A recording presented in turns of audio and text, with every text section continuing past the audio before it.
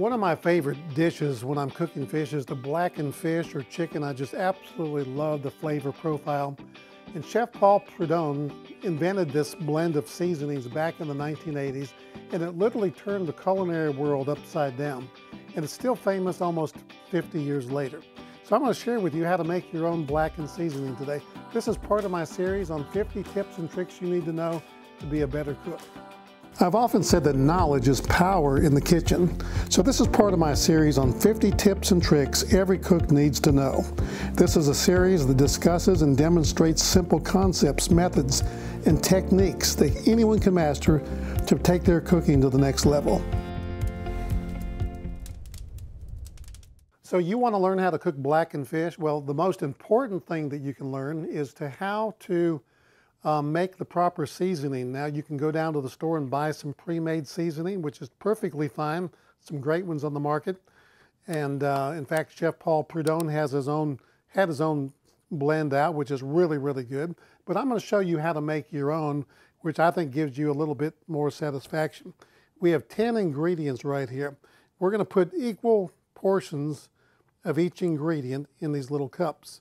So we're going to put a tablespoon of each one of these seasonings into our mixture today.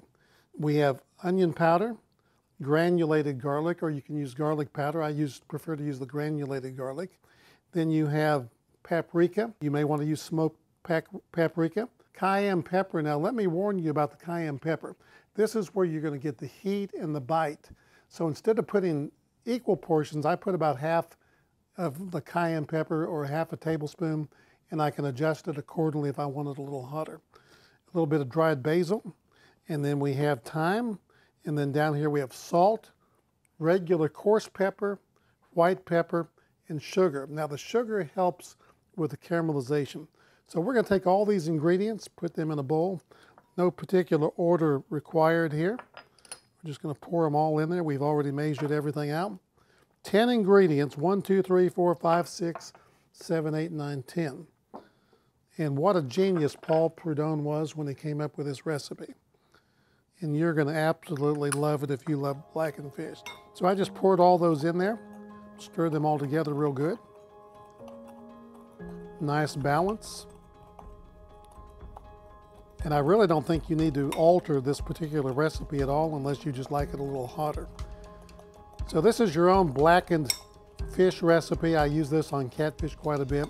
Use it on salmon, Whatever you want to blacken, whether it's shrimp, chicken, fish, this is the perfect recipe. Mix it all together, put it in an airtight container, keep it for months and months. You're going to really love it. So thank you for joining me today on All Things Food with John Woods. Be sure to like our series, that little button down at the bottom. Subscribe to us and tell all your friends. And I'll see you next week on All Things Food with John Woods.